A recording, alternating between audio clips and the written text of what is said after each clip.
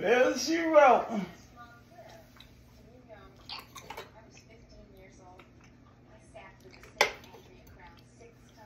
Hey there. How you? I'm doing all right, right on. I been too long got in the high. Uh-huh.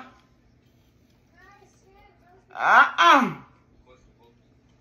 I ain't had no doctor appointment. That girl, that grand young of mine come, called me to come down there. They were down there cutting the food. Uh-huh. She come calling out here, hooping and hollering. Talking about what all that boy done did and carried on and whatnot. Hell, I told her they wasn't finna run my blood pressure. She just found out he been doing it. Strangely, I know you right. Talking about she finna go down there and throw hot pot ice on him. And I said, yo, I ain't sure gonna go to jail too.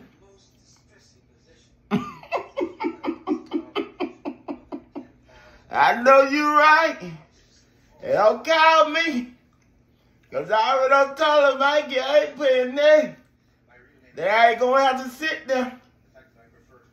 Ah, uh -huh. He come out, don't went in there and find a text message. Where you talking to some girl. Hell, I ain't just not started talking to him. I told him by the time they do get down there, all of them gonna be locked up. Uh-huh. And I told him,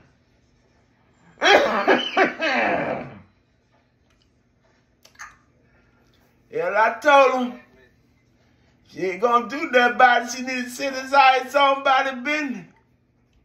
Ain't no need to have nobody out here making you look like a fool.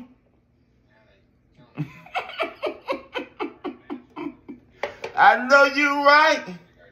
Yeah, my daddy told me you argue with a fool, you can't tell which one a fool. Yeah, both of them about out here don't shit anyway. Ah, uh -huh. You know he was messing with that Shula girl. Shula, ain't your daughter. Uh-huh. Say she was down there sitting at the light. And the girl got out and ran up on the car and got to fighting her. Uh-huh. Hell, I told her don't call me with that shit. I ain't got time for it. Yeah, I'm trying to get through the gate. I'm fooling with y'all. I ain't finna wind up here for nobody else but myself. I know you right.